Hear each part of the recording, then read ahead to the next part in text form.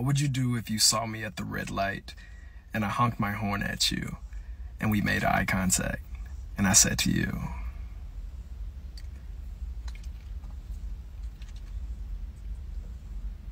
What's up, baby?